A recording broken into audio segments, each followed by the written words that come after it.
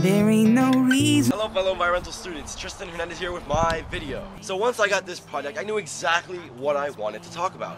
One of the biggest environmental issues I believe that is affecting Florida and a lot of the earth is invasive species. If you don't know what an invasive species is, it's a plant or animal that was introduced to an environment and that is not native to and it is causing either a large issue or is causing the displacement of native species. But today I'm going to be focusing on plants because that's what I like and that's what I'm talking about. So right now I'm standing in a pine rockland, but this isn't the only kind of environment that exists in Florida. This isn't one of the most heavily invaded areas in Florida. Let me take you to a place that is more heavily invaded.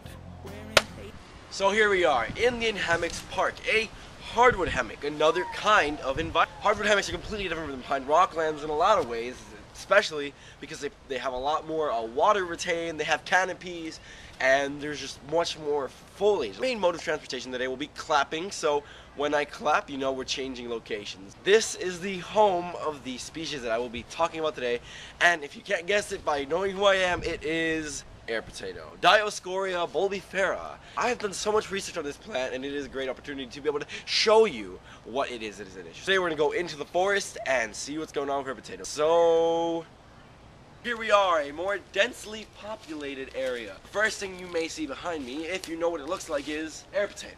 A lot of air potato. Air potato is a native species to Africa and Asia. It was brought over for a few reasons we think of. Uh, one of them is as an ornamental. Uh, another possible reason, uh, in addition to that, is that they're edible. Uh, the air potato itself is a starchy ball of, it looks like a potato, so it can be boiled in water and can be eaten. Now, in Florida, these are really bitter. They, they're not very good at all. They don't taste very good, so most of the time people will not eat them, and because of that, they became a huge problem. They started overpopulating. Uh, air potato grows about 14 centimeters a day. A day. That's a lot. It may not seem like a lot, 14 centimeters, but a plant that grows that fast, it's vine. So if you see what it's doing here, it is currently covering everything, and it's doing what it's falsification. Uh, by blocking off the sunlight with these huge heart-shaped leaves, it's absorbing the sunlight, taking in all the water, and then blocking all the sunlight from the other plants that are underneath it. Native species can't keep up with it. Air potatoes are also very interesting in the way that their mass, their starchy mass, doesn't just grow a vine. It also produces more air potatoes. And one potato can produce about a hundred little bulbils. A large one can produce about 400.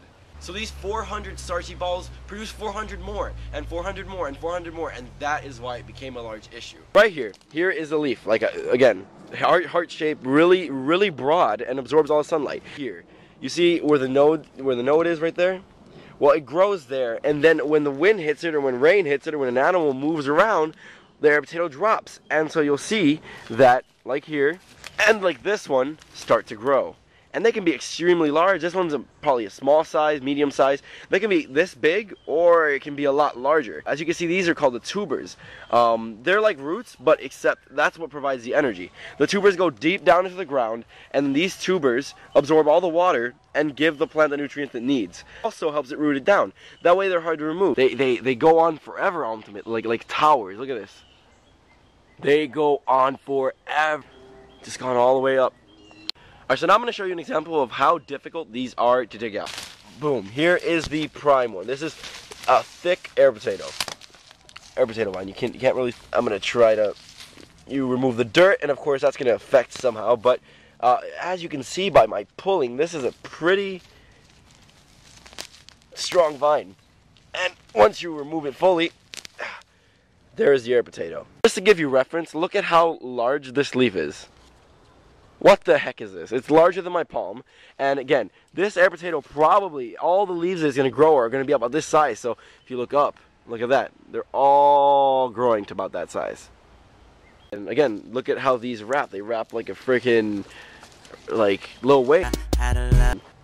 So your question might be now, Tristan, if this problem, if this air potato is such a large issue, how are we going to control it? How are we going to remove this enormous amount? Well, uh, I wish I had the answer for you, and I do actually. For about 10 years, there was this insect, this animal, in quarantine at the Invasive Plant Research Center in Broward, and we were trying to see if this insect would only eat the air potato. A lot of research, boom, air potato beetle. All it eats is air potato. Releasing them all over the place. Uh, as a matter of fact, last Thursday, we released 50 of these air potato beetles actually in an area right not too far from here. I checked today to see if there was any damage, and yeah, the air potato beetles are doing something. There's a very little, uh, there's holes all over the air potatoes, and you can just see that on the leaves, uh, they are losing mass. Removing them manually, as you can already tell, I just found two right here. I mean, to give you, there's too many of them to even possibly try to get all of them with our hands. So by having this biological control, which is one of the three types of control we have,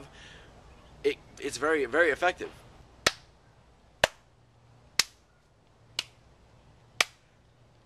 So thanks for watching. I hope you all have a great day and I'm excited to see all your videos because you saw my videos, so why couldn't I be excited? So yeah, uh, thanks for watching and have a good day. Goodbye. Hashtag swag thug life OMG OMG OMG. Paychecks like necklaces and bracelets, talking about nothing, not thinking about death. Every little heartbeat, every little breath. People walk a tightrope on a razor's edge, carrying their hurt and hatred and weapons. It could be a bomb.